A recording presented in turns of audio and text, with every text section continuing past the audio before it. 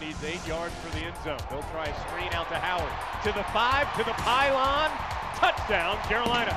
Howard reached that ball out as he was falling out of bounds, tumbled the pylon over. And this time, Tech runs just three minute Williams. Deep to Switzer, has it at the 30. You are not catching him. Touchdown, Carolina. Corey Griffin saw Switzer catch it about three yards in front of him.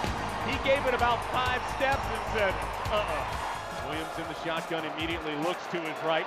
Nothing there. Still dancing around in the pocket. Finally goes far sideline.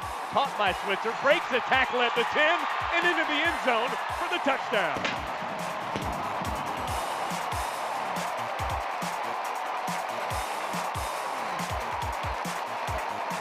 Second and one.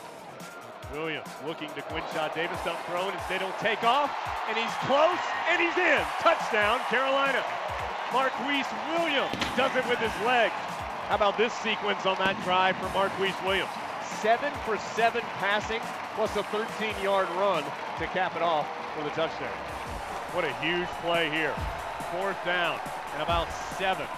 Carolina trying to keep the drive going with the lead, but just by four with 12.43 to go in the fourth quarter. Tech bringing pressure again. Williams, time to throw. He's going to try deep. Mack Hollins has it. Touchdown, Carolina.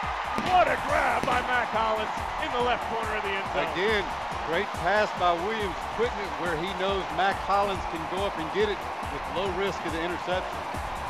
That was just one-on-one. -on -one. Who's going to go up and get it?